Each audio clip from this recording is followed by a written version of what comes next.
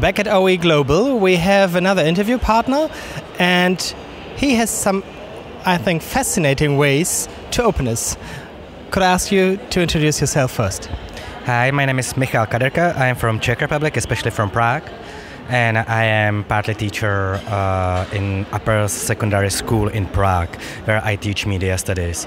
Originally, I was teacher till full-time teacher till 2007, when I was teacher of the history in social sciences, what it means, like philosophy, sociology, economy, whatever. And in 2010, I decided to go back to the school as a like hobby teacher, and then because I couldn't teach history anymore, so I decided to actually focus on the media studies because I was working. Actually, I'm still working with medias and I'm working in the marketing and PR. And I decided to teach media studies. On this conference, you were talking about radical openness, and you identified four ways to openness. And the first one is Facebook. So, why Facebook? Uh, because this is actually a platform where which uh, all students are using. For example, like in 2010 or 11, I tried to I actually I test my students that I send them some information via emails and information via Facebook, and I actually didn't get almost any answer via email, but in five minutes I get everything via Facebook. So I actually decided to focus on social medias because this is environment where I can always find my students. The second one is open field trips. What is this?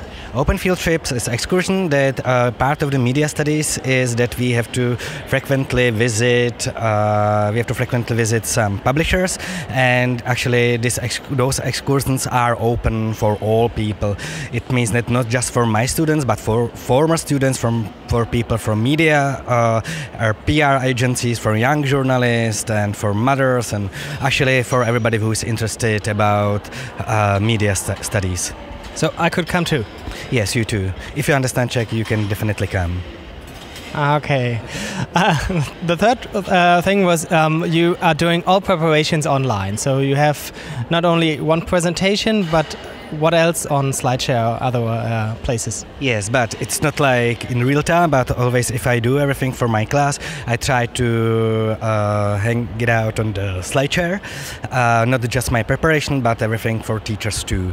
But of course, it takes time because it's not, of course, it's a little bit different if you do something just for you, for your uh, personal reasons and for your personal lessons with your students, and something different is if you want to publish for other teachers and like teachers community. So it takes a little bit of time, but I think that I'm mostly like I am I'm able to do it like till two weeks after my lesson. And number four is Twitter. How is Twitter uh, combined with your work? Uh, Twitter actually it's actually a very interesting instrument. I didn't expect that it would be such useful for me. Uh, when I started to use Facebook uh, for my students, actually I tried to post some interesting news and information from the media field, but I found out that students actually ignored all information because they were like so many information okay we i have no time to check everything. So i decided to leave uh, all organization things on facebook and everything what is interesting for my students i put on the Twitter. But on the other hand, actually, Twitter start to be really attractive for other journalists and other people from the PR agencies, which are actually using for themselves. So I'm trying to put some special content for them to and for the students. It's actually this content is focused for the uh, actually how to use media for your education. I mean, like how to educate yourself, and and of course something from the media fields too. I could imagine if you would do this in Germany, there would be a huge cry out because of privacy issues, safety issues. Uh, is there anything of this in your work in Prague? Uh, of course, that I still think about it. I'm trying to be really sensitive, but it's really absolutely it's radically opened. And uh, for example, to the Facebook group, uh, actually, it has much more members that is, uh, that uh, I have students in my real class, and uh, of course that I have to all of them I have to check. It means that I have some my private rules. It means like that they have to have profile profile picture, that they have to have real names. I try to uh, check out if they really exist and about what they do and whatever. And after that, uh, they are allowed to watch uh, everything what we do in our lessons. And uh, if we go somewhere, of course that I have to identify them too. You know, this is from the security reason. It's actually you. You are right write, for example, in the Facebook groups, that because I write everything about my students, I give them grades, and uh, I write what I think uh, about their outputs and whatever, and others are watching that, and uh, this is reason why I have to be really careful for that. Uh, you had one interest, interesting thought that was that it's also protecting the students to go into the openness because you are watched for your teaching.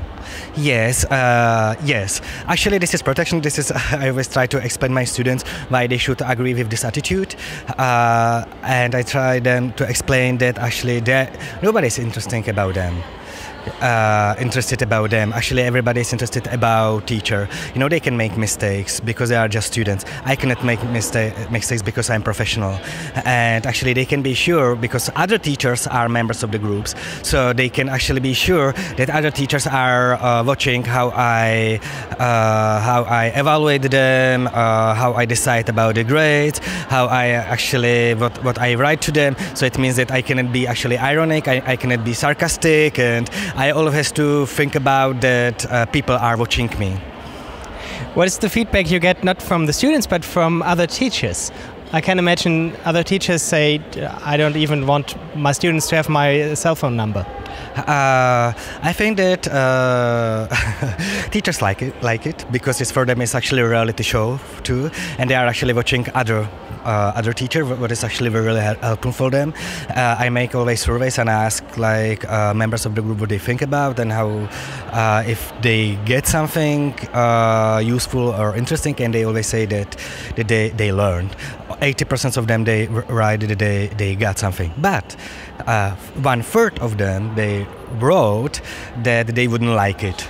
Because but i think that this is from the reason because all these members are actually in my age. It means that they are really young.